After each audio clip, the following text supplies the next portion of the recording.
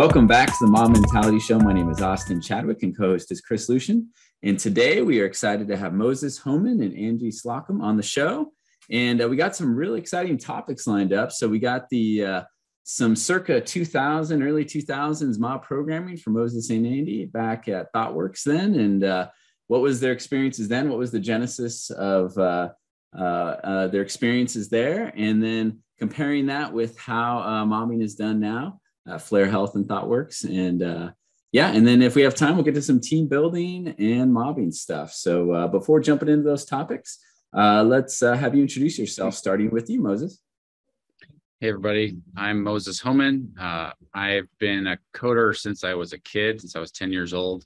I started my professional career with Andy, actually, at ThoughtWorks a couple of decades ago, which is kind of amazing to imagine that um, and uh, wonderful place to get my start learning agile and all that kind of stuff.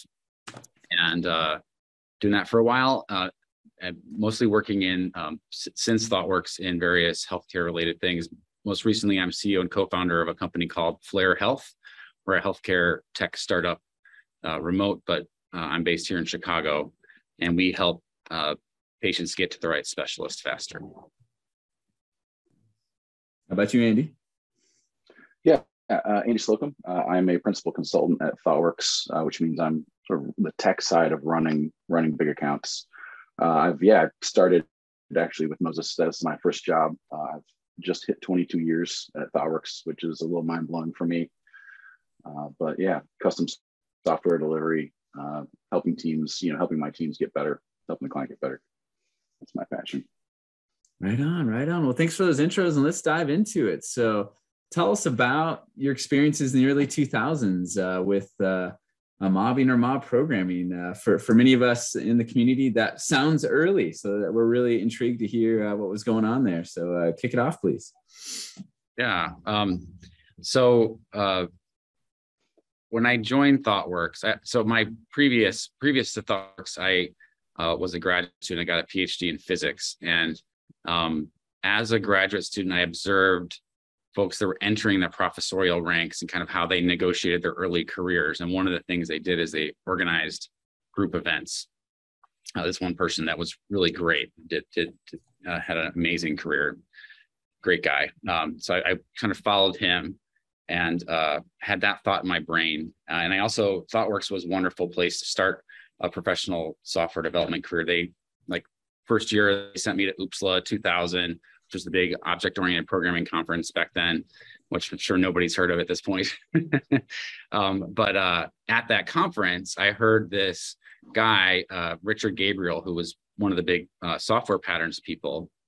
Uh, I guess he went by Dick Gabriel. He was very like typical of the time, uh, you know, sort of software guru guy with long hair and big beard, you know, just kind of um, uh, definitely an, the kind of like what I liked about software, that the, the, the community, as opposed to a lot of um, the, the the structure and hierarchy of, and sort of traditional aspects of academia.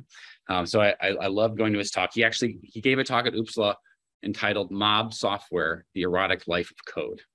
A very provocative title. He was a poet as well. He viewed software writing and and poetry sort of on on the same plane.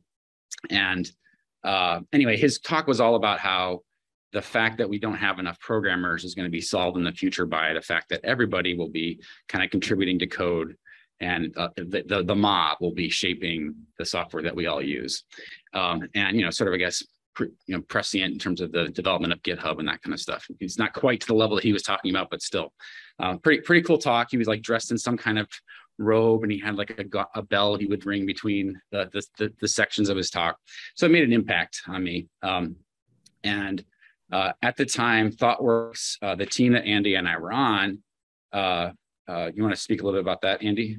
Yeah, yeah, sure. We were we were writing a, a large application. Um, it was sort of a custom workflow, uh, and it had when when Moses and I joined, it had been going for about a year, year and a half. But we'd already had something like 200 pages. You know, this was back in the in the you know JSP and EJB era. Um, so there's a lot of code, a lot of you know generated stubs and skeletons trying to get your your data into and out of the database. Uh, and and what we found coming in was, you know, the team was sort of maybe a dozen developers, but they were already segmented very much into, you know, you had you had the the two devs that only worked on this section, the two devs that only worked on this section, uh, and we had been hearing about extreme programming, and we've been hearing about you know collective code ownership and, and test-driven design and unit testing, uh, and so we were really sort of scratching our heads at how we get from very very sort of siloed code development into a more collective model. And we were even seeing a lot of um, you know classes that were that were copied and reused in different parts of the app uh, you know unchanged or slightly changed uh, and so we you know we, we were trying to figure out how to how to solve that so yeah, yeah. and so so we the idea that we sort of started toying around with was was well why don't we do the opposite of everybody working on their own thing and actually get together for a lunch and mm-hmm. talk about the code that we're writing and maybe get to know it from each other and that that practice went through a couple of iterations it was a little tricky like at first it was just talks people would give about some part of the code that they had and like most people fell asleep you know um, and so we tried to make a little more interactive and so we we came up with this idea of having uh, people actually refactor the code in the session during the lunch. So eat lunch and then refactor. So, and we the name that we came up with it, sort of inspired by Dick Gabriel's talk, was mob programming. As we knew about pair programming, we knew about you know drivers navigators from that, and Laurie Anderson's wonderful work in that area, um, and many others. And and so we just thought like, what's what's a bigger what's bigger than two? It's it's, it's a mob. So um, that's kind of how how the genesis started. But it was just focused on refactoring. That's all that we did, and we actually started. Uh, refactoring stuff that we would actually use. It sort of it was an evolution. It's again, it started off just familiarization, but realized that making it more interactive, people were more engaged and it was more meaningful for everybody in the room. Uh, and so that's kind of how it went. Um, and we did it a few times. And at the time, like ThoughtWorks was just getting into the agile space. We had one project that was really sort of like the agile project at ThoughtWorks, which is funny to say at this point in time. Um, and we were not on it, but we wanted to be. So, uh, you know, we, we wanted to get involved in the agile space too. And uh, we, so we submitted a paper about this thing that we were doing to XP uh, Universe 2001, which was a, a, conference before Agile was, was the big term. Was, uh, XP was more prominent at the time, extreme programming.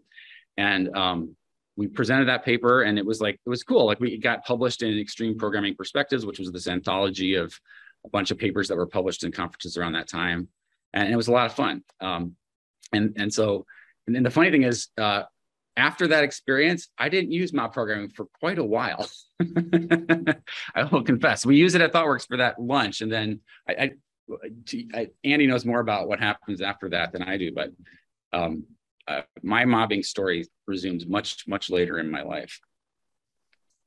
Yeah, and maybe um, I can jump in. So, uh, you know, I found it really interesting that you were just refactoring um, during during that time, and so, um, you know, I, I, you know, I had when I started mobbing, I'd never heard of the term mob programming or anything along those lines, um, and uh, in in our scenario, um, it was uh, you know a single developer was having trouble with the delivery and then we all got into a room to work together on the code hmm. um, and then it started by by refactoring and then and then discovering kind of a um, uh, a dependency that that uh, was known to be permanently buggy. And so uh, a large portion of the, of the system had to be rewritten.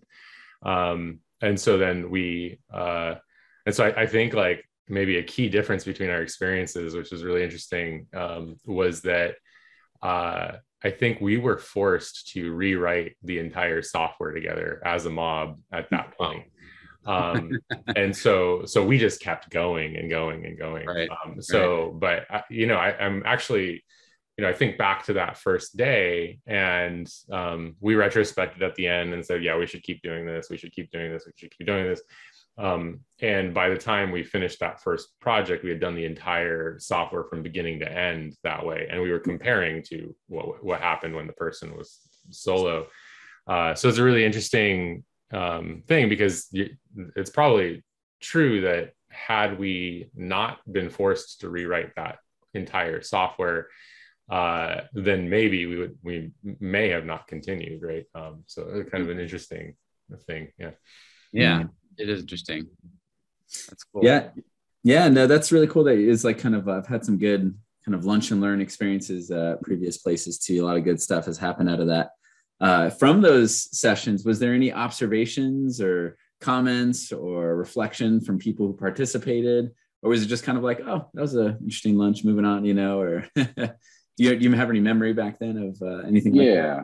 Yeah, yeah. I mean, I you know, I think I think we you know, we struggled figuring out how to do it well. Um, we would, so for instance, you know, as Moses said, we would spend time refactoring the code, uh, and then, you know, lunch was over, and we wouldn't really have gotten it done. Uh, so then we started appointing someone from the meeting to go and sort of complete the refactoring. Right, we've got you, we've got you moving in a direction, and you're going to go and complete it, and sort of come back to us, and then we'll we'll add that back into the code base. Right, so so getting it to where now we can write enough tests around it, you know, you can't really do that in an hour. Um, not for not for the the sort of size of the code we were working with, uh, the size of the classes. Um, so that was one thing. Um, another another one that was interesting was uh, we were asking people to bring classes to this lunch and learn, and what we found is they were only sort of bringing the classes that they were proud of, right? So we'd say, okay, hey Carl, Car- Carl, it's your turn to bring the code. Uh, and he would bring like his his favorite little little piece of code to demo. Um, and so Moses and I wrote a uh, a script to just sort of run through the code and pick a random class, and we run that three or four times to find something interesting, but maybe it was buried or hidden or you know some deep dependency that nobody wanted to look at and nobody wanted to talk about. Um, and you know to, to, really force us to get at we need a testable code base and we need to yeah. really understand what a shared code base means and, and how do we get to that point and how do we not have you know eight xml utility classes right? Uh, which was just sort of obviously a bad anti-pattern but it was proliferating around the code. Um, the, the the third thing that we did that was that was helped with engagement was um, you know we would have you know about a dozen devs uh, in the lunchroom working on this code. And you still only had you know three or four people participating. So we tried a, a, variation where we would actually say okay every split into group of you know groups of three or four and everybody take this code and work on it. And that actually helps you know there were always a couple people who were just going to eat lunch and not talk. And that sort of got everybody engaged more. And so we would all we would all say okay this is the method we're working on we're all going to go split out and work on it and we're going to come back together and we're going to look at each version of that and see what we like from it and figure out which one we want to keep Nice. That's great. Oh, so it was a group of 12. Yeah, yeah, yeah. I was picturing a smaller group for some reason. Yeah, it was, yeah. It, it, it, was a big dev team. Yeah. Yeah. Oh, cool.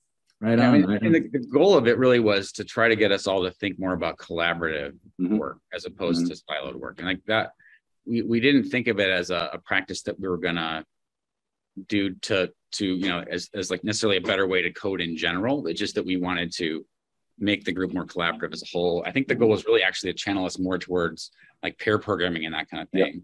Yep. yep. Um, yeah, testability that, was our conception at the time. Yeah, mm-hmm. absolutely. Testability, trying to introduce unit testing into, you know, one and a half, two year old code base was a was a challenge. Yeah, but I think as Andy said, we ran into some interesting things that happen in mobbing when people do it more broadly, which is like how do you keep everybody in a larger group engaged, um, and that kind of stuff. Um, which I'd love to hear from you all, kind of what you've seen. Yeah. I, I, have a take on that. Um, you know, so I don't know if you've ever been to an open space conference, but uh, they have kind of the law of personal mobility, which is like if you're uh, when you attend a talk, if you're not interested and you're not contributing, then you can go to a different talk. So right. We actually applied that to the mobs. So if you're if you're not learning and you're not contributing, then go to a different mob mm-hmm. um, or start a new one or you know whatever um, and uh, and that typically just kind of self-regulates throughout the day. Um, but yeah, and and kind of like I said, we we we kept mobbing for a very long time, and so um, we've gone through you know we retrospected at the end of you know each day for a while and then each week for a while and then each month for a while so there's there's been tons of refinement over the years um, but yeah uh, yeah, uh, it it regulates pretty well. And then also, you know, I think there's the opposite piece of it too, where it's like, hey, we want to go and work by ourselves because this code is not interesting enough. It's like, well, like what makes it not interesting? And um, one other pa- kind of anti-pattern I I saw was um, people wanting to go and work by themselves when the problem was so simple that it should have been automated. Um, and so, uh, you know, I, I, think the flip side of that is when you're going to reduce the size of the mob, um, is the problem actually uh, more simple than the people need to be there, or is it something that the the group needs to think about how to automate all that work in the future? So, um, you know, I, think uh, some good examples of that is like adding a translation library to the entire code base for mm-hmm. languages right? So like you, mm-hmm. you, know you could all split up and write the piece you know go into each display page and replace all the text with a translation uh, module. Or you can write a, a, thing that'll go and do that to the code for you and for all of your future projects right? Right. Um and so uh you know i so those are the two things. So don't go so small that you should be automating as a larger group and don't go so big that people are languishing. Um, and if it's a general rule and people self organize around the work, uh, then that happens uh, very naturally. Um, that makes sense. Nice. Yeah, and I've also seen what you what y'all did too, which was uh, split up. Sometimes that that really works if you have the mob feels too big. People feel like they have more voice if it's a smaller group, or some people won't talk in a group larger than five, right? And so, or they they're learning to grow in that area. So making it smaller usually helps uh, increase uh, the psychological safety for people to share their opinions or you know for example refactoring is great because um, if someone's real proud of a class or someone's you know in there that's much harder to say in a group of 12 like hey i smell something over here you know but we're in a smaller group it might be easier to uh, to surface that. And a couple of more things uh, about that first event before kind of going to today for y'all is i'm just curious because this was um, you know, pairing was around then, right? So you mm-hmm. mentioned driver navigator, um, but obviously uh, there wasn't a lot of like mob patterns or roles or those kind of things going on. So in your when you were doing the 12 person mob or each of the individual mobs, was it a single driver? Was there any rotation? Uh, what was kind of the flow of uh, I guess conversation and uh, code editing, I, I suppose. Yeah. So what I recall is we had instead of a navigator, we had somebody we called a narrator, which was the person that knew that part of the code already and could kind of speak to how it fit into other things and give us all some context. Because you know, again, Andy said big code base.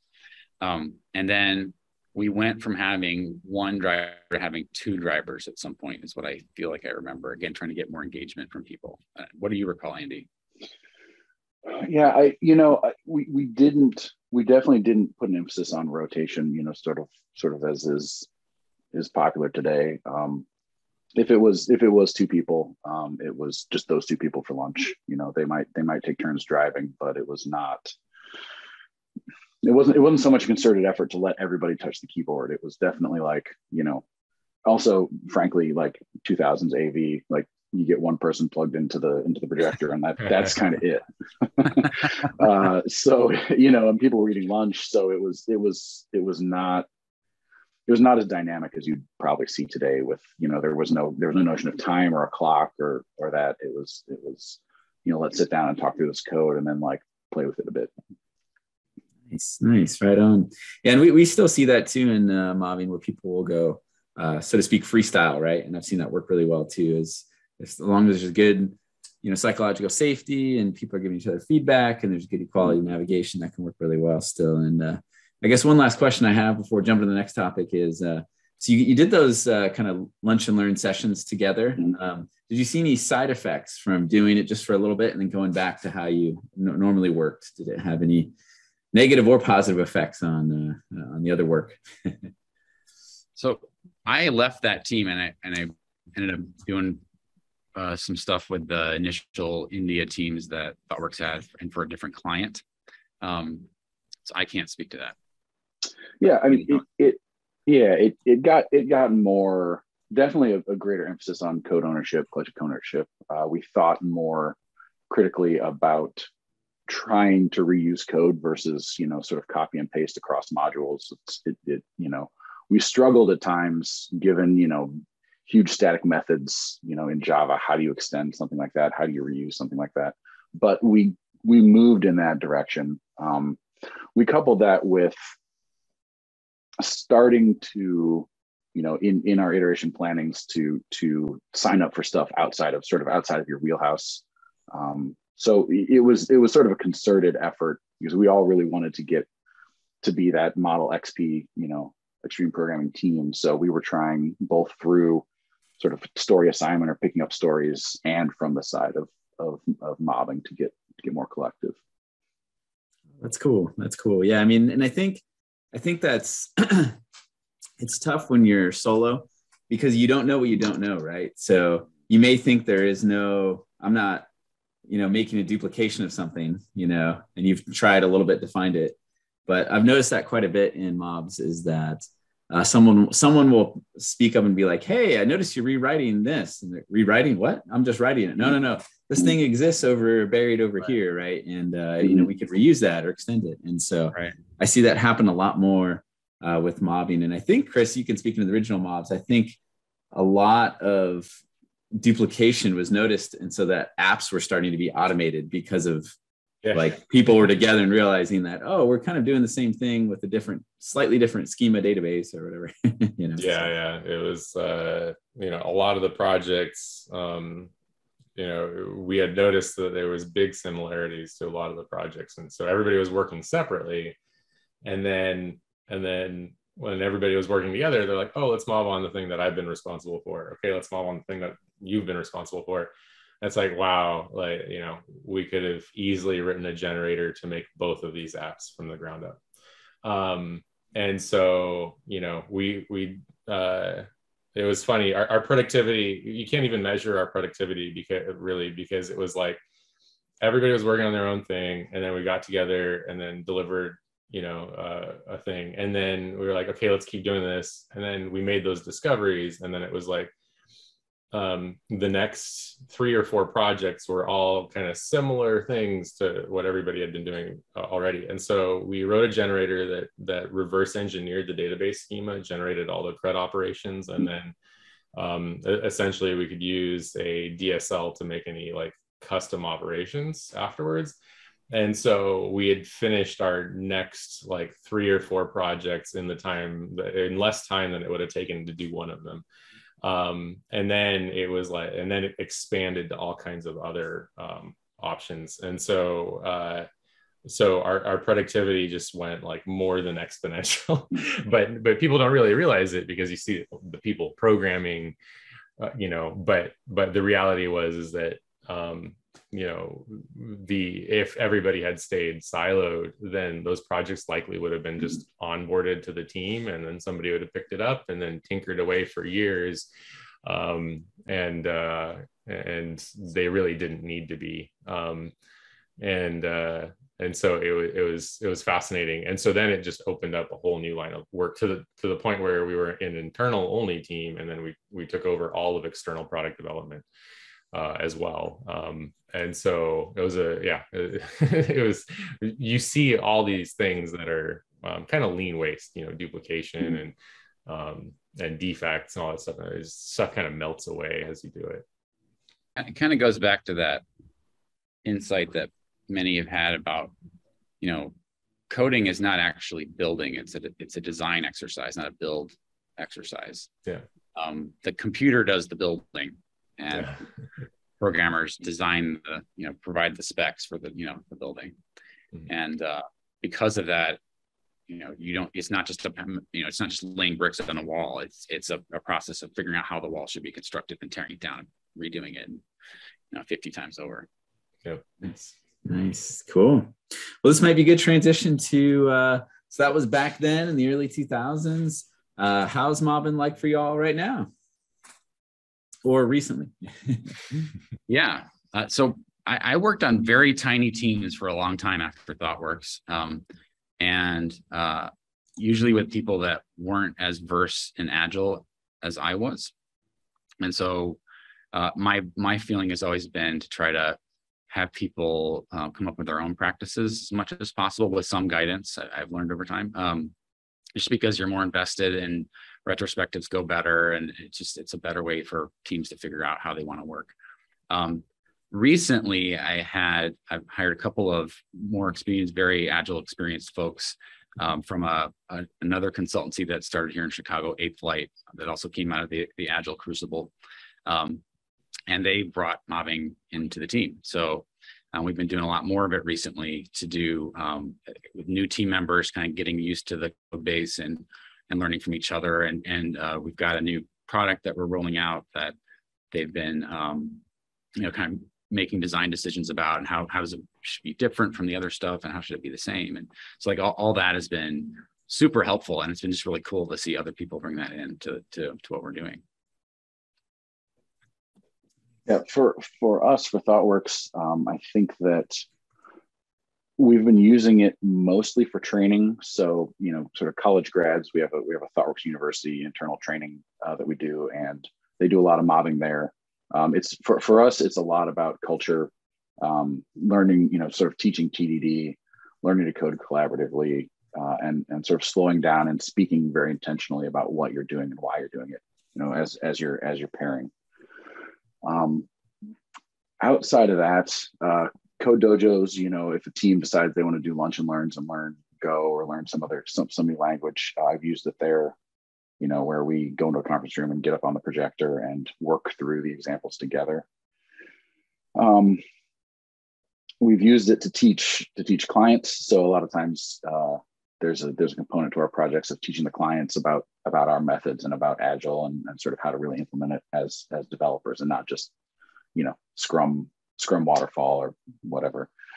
uh, so we use it there a lot. Um, we've done the you know three mobs on the same pro- problem there um, as part of like a boot camp for their devs though it was it, it really hasn't i haven't found a lot of examples of it being uh, a core sort of a core practice um, i sort of i wish i could have found that uh, and talked about it but um, it's been it's been it's been very much about learning still and learning culture and learning tdd for us um, I, I, do have a i did find out that a friend of mine uh, kieran murphy who's teaching uh, computer science classes in the evenings he's a, a at thoughtworks as well he he's been teaching his classes as mob programming, nice. so completely from start to finish. Uh, and and his you know his his students say they love it because it's really about talking through. Okay, how would you you know how would a debugger work here, and what should we step into, and what should we look at, um, and and learning Git and learning things like that. He said that they they learn these things much faster and get sort of more competent with with source control and with the notion of software design uh, and sort of understand their thinking and get get to a place as a team um, as, a, as a class that they can't get individually. Mm-hmm. mm-hmm.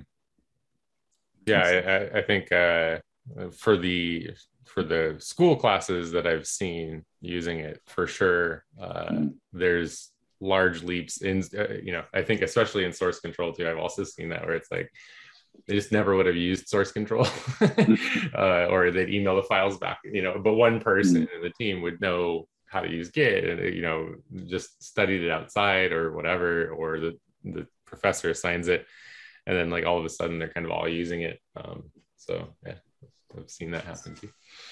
Yeah, and, and you know that's that's a pretty interesting pattern I've seen where um, the adoption rate for uh, mobbing and pairing seems to be higher in a boot camp onboarding mm-hmm. learning type scenario than uh, a doing type scenario. And uh, you know um, whether you're designing or you know like engineers getting together in a team to to accomplish story a or something like that right? Um, and so it, that always makes me wonder uh, what what the you know is uh, systemic you know is it the people? Is it you know so there, there's a lot of questions that brew in my mind there but that's just something I've, I've been thinking about from a, a bigger perspective but uh, yeah yeah yeah um, for, for, us, we, we do it fairly often now. Mm-hmm. And I think it's because uh, the team has the right balance of people who are um, at different stages of their career and had different levels of experience with the practice. I think that's mm-hmm. a lot of what it is too. Because I think, you know, this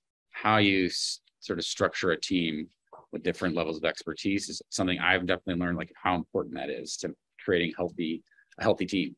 You know, that mm-hmm. really um, fun to work in and productive and, and, and, accomplish a lot. So nice. Yeah, no, that's great. And I think um, what's what's awesome from both of you have shared is that uh, it appears the teams have ownership, right? It's no one's mm-hmm. forcing them to do it, and uh, when they do it, they want to, and, and, that's great. And it's because they've experimented with it and found value, and that, that that's fantastic. Mm-hmm. Um, right. Yeah. Um, so cool. Yeah. Anything else on your current mobbing before uh, you know jumping into team building and mobbing, or any questions you had for us? Not really. Um, I guess I'd, I'd love to hear. I, I think I think that um, sorry, Moses, let me cut you off. You've you've done you know you've done mobbing as a as a sort of a first class first class concern. Um, I would love to hear more about that. Uh, I to me that I hate to say I I had almost never thought of it outside of a outside of a learning and sharing sort of context. So Sure. you know to some extent, how is it you know how is it different? Yeah. Uh, well, so we've been doing uh, full time mobbing for the last 10 years. Um, and uh, so it started with one team for about four years. Um, that team uh, got to the point where um, we were releasing twice a day to production uh, with zero bugs reported from production for a year and a half. Um, so, so there was kind of uh, a- after that four years, there's kind of an external third party auditor that kind of came in and um, and they kind of evaluated software practices across all the different teams at the company and just said, you know, you need to really grow this to to every other aspect of software you're doing.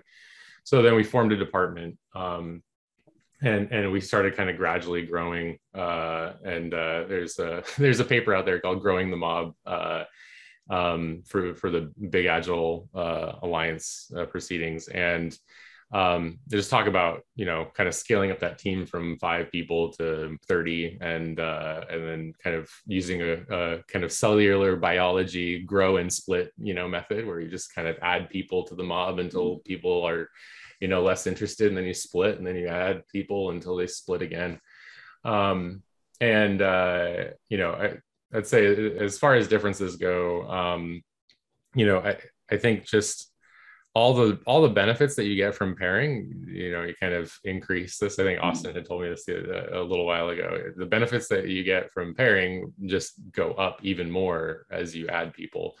Um, and there, you know, there's a ceiling of complexity there, kind of like what I was talking about as well, where it's like, um, you know you lose engagement. The largest mob i've ever been in was like 20 people that was at a conference working on a um, you know like a, a beta key for a quantum computer because everybody was chiming in right? It was like very engaged active. Everybody had ideas of what to try and, and thoughts on it. Um, and then you know um, kind of all the way down uh, and but like the difference between two and three i think is really important um, so uh, when you're just two and somebody leaves to take a break, like things can't continue on, right? Um, uh, without like some like catch up and, and things like that.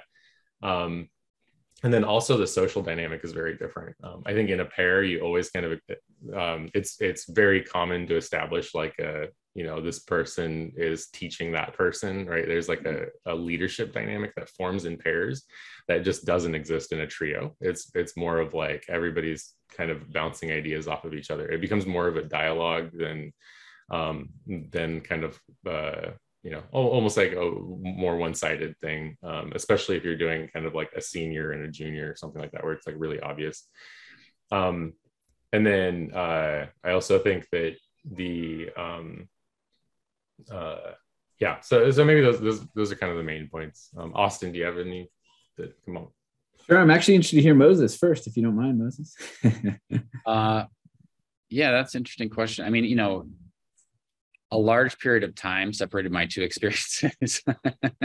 uh, so, and the very different teams. Uh, uh, so, like, I get like like uh, Andy mentioned, the ThoughtWorks team is 12 developers. Ours is four developers plus me on the side, um, and I, I think that uh, I would agree with with what you said, Chris. Like I think that um it changes the social dynamics in a really nice way where people at any level of experience can just kind of you know, like there's a there's a thing in junior senior pairing, so to speak, where um, uh, people talk about where it's you know people think that the senior is teaching the junior, but a lot of times the junior asks lots of really good questions that makes the senior actually think about what they're doing, and so he or she can like make better decisions as well. Um, but I think it goes beyond that because sometimes um, you know, there's I've seen roles where people take on, you know, uh, holding the team accountable to like this making enough sense in a certain way, you know, kind of bringing us back to that. Um, and, and, and so I totally agree that it changes those dynamics where it's no longer so much of a um, mentor mentee type of, of interaction. Uh, but yeah, I, I, think, you know, um, we'll see how it evolves. We've been doing it for like a, a few months now, two or three months uh, with these new people joining. And um, it's, and everybody loves it. Like I, the team keeps telling me like in our one-on-ones, like how much they enjoy the teamwork and all that kind of stuff. So um, we'll see where it goes. Cool. Yeah. Yeah. And I guess for me, one thing I've been reflecting on lately is I've kind of known this about myself, uh, my life uh, for a while was uh, if I'm a computer, I'm always just one window open. Like uh-huh. there's no multi-threading going on for me. Uh, or if I do, I'm very terrible at it. Um, and so what I love about mobbing is that um, it allows, I think it allows multiple people to kind of have that mode and each coming at it from a different angle. So if you're in a mob and you're learning, you're focusing on what you're learning. You don't mm-hmm. have to be stressed out or concerned or worried about necessarily delivering at that moment because the mob can help carry that, you know. And we we tell people who are coming in and are that are less experienced, like it's great. Your focus is learning, and that's okay. You know what I mean? And then um, once you're kind of you feel you're at an adequate level to contribute, your focus can be on contributing, right?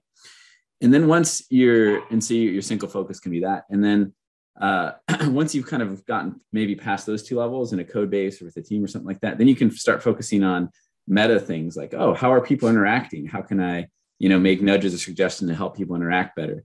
How are we interacting with our customers and stakeholders? How can I nudge it in that direction? You know, so they're working on, you know, code piece A, and I'm seeing them make two or three assumptions that we don't know are true about the domain. Maybe I should interrupt and ask a question to lead us to talk to someone, or um, you know and so what what i've seen what's really cool is um, if everyone in a mob is kind of doing their different piece um, all those things happen instead of you know uh, resyncing later. So everything uh, i love a saying uh, i can't remember his name from linkedin. Um, i'll have to look it up but he said everything done async has a resync right?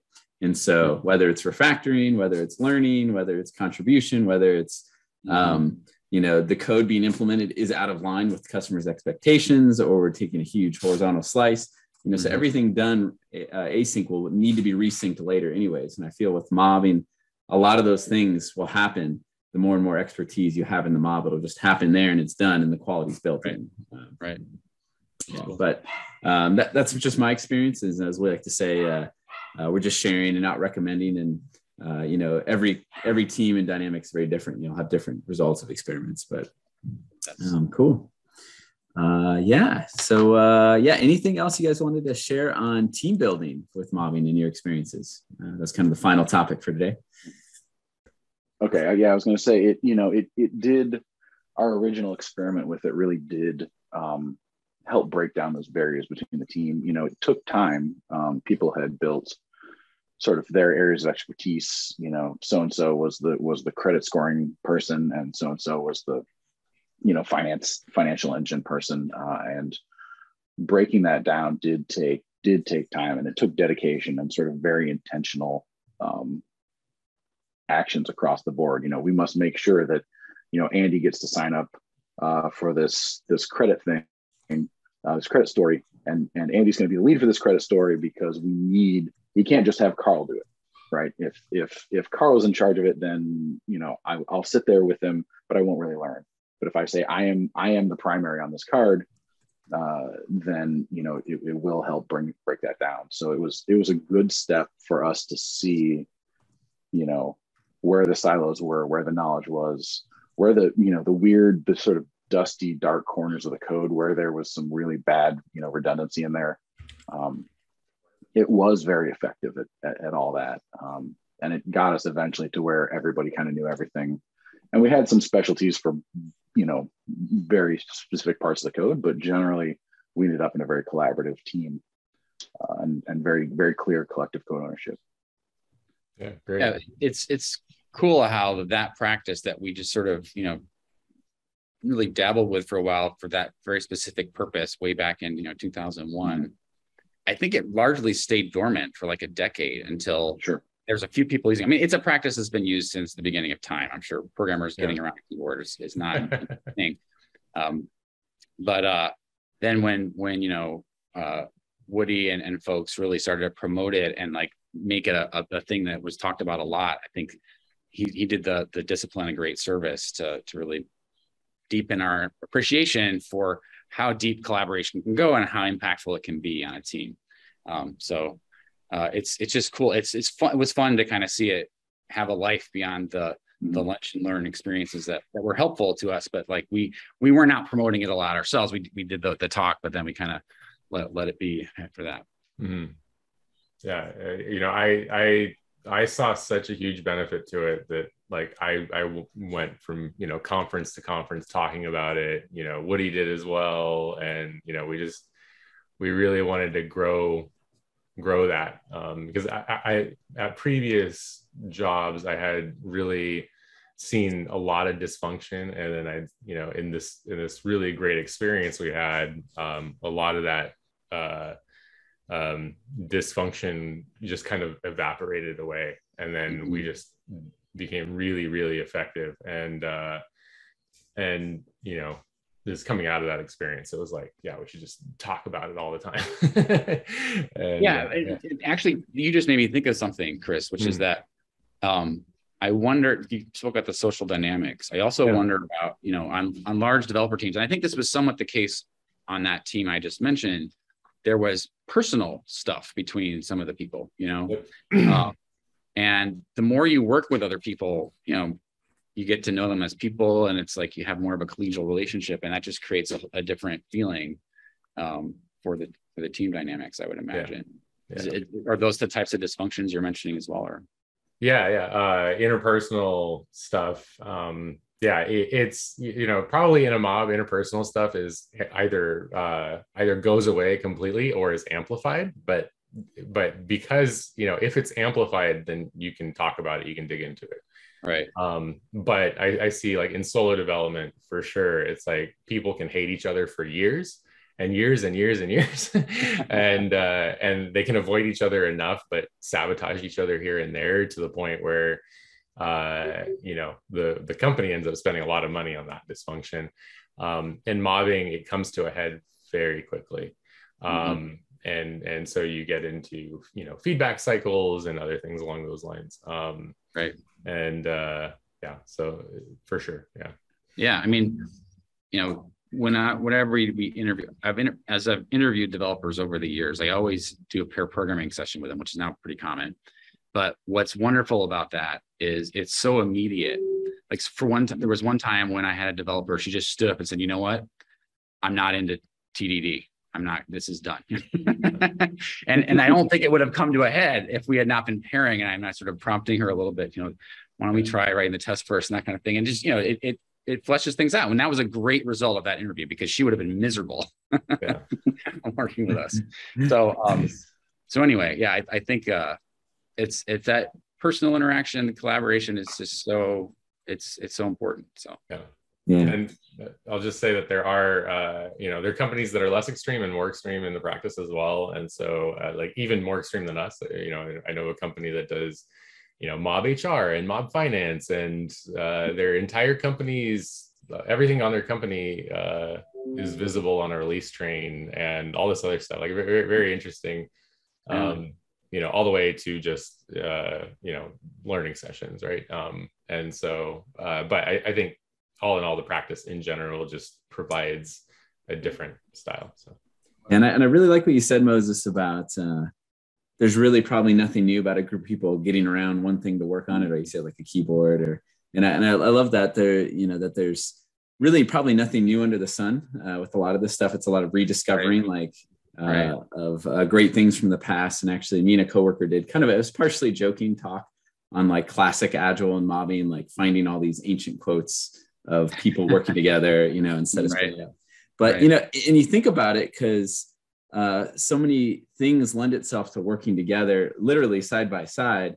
I remember someone wrote a, a, LinkedIn post saying, like, imagine a movie where no one worked together and literally everything was done asynchronous code review, but like person A records by themselves and the person B records by themselves, and then everything is edited and you know, Right. merged together, so to speak, back in. Oh, I- you know, actually, there there is a case of that. So um, oh, I know, but like uh, there's a really Yeah. great one arrested development actually the first two seasons Hmm. were recorded with everybody together and the third season no one could schedule together so they actually recorded separately and like stitched everything together yeah. and the quality went went considerably down Um, Ah. and so if I, you know, um, maybe maybe I'll get a bunch of. Uh, if, if you actually like the third season of Arrested Development, please let us know in the comments. Um, but uh, yeah, it was uh, it was um, it was a kind of an exact case like that. They just couldn't get that that synergy that they had when they were working together, and I think that exists in software development as well. So that's a great point. Um, okay, so uh, we There was one- are. one more uh, thing I was going to say, Austin. yeah. Just sorry to interrupt you. Go go ahead. um, is completely agree. I think there's something really um, fundamental to what you just said. Uh, coming from sort of a, a innovative innovation perspective, being you know working in a startup for a while, trying to figure out how to make something new in the world. A lot of people's conception of innovation is you have this amazing idea and then the world changes. That does sometimes happen to some extent, but I think much more common is you have an idea and then you have to make it live. You have to get it out into the world. You have to get people engaging with it. You have to figure out how they engage with it and what what makes it meaningful to them. And so, like all the all the thoughts that have come into our space around user research and and human centered design and and lean startup, like that have taught us to be responsive to the world as we innovate. I think that's that's what uh, you know Chris and, and Woody did with this practice is that they really went deep into it and they really engaged the world with it, and that's why it's so popular today. So I think um, that I think that lesson is just really important for everybody to learn, and we've definitely encountered it trying to change healthcare for the better is is, how important um, that that kind of sensitivity to the world and and the need to make the innovation something that people really engage with um, to make it successful. Awesome. All right. Uh, we are about at time. And so I wanted to ask you guys if you had anything to plug or share before we closed out the show. Andy, Yeah, Sure. Uh, you know, ThoughtWorks is is hiring. Um, I've I've worked there, as I said, a long time, two decades. Uh, I love it, and uh, I encourage anybody, you know, to to take a look at it um, and come enjoy enjoy fixing hard problems with me. Awesome. We are not currently hiring for developers at Flare Health, but we are hiring uh, a lead user researcher, and I'm sure we'll be hiring developers later this year. So please reach out to us at Flare Health, which is F L A R E Health. All right. And uh, thank you both so much for this opportunity. It was really Yeah, it's been awesome. Absolutely. Thank Really you for awesome. Um, and uh, to our audience, um, if you uh, maybe know somebody who wants to know maybe the differences between uh, mobbing and pairing and otherwise, or uh, maybe ne- could see the different contexts uh, that you could use mobbing in, then please share this episode with them. Uh, and you know, with that, please like, subscribe, share your comments, and we will see you next time. Thank you, and bye bye.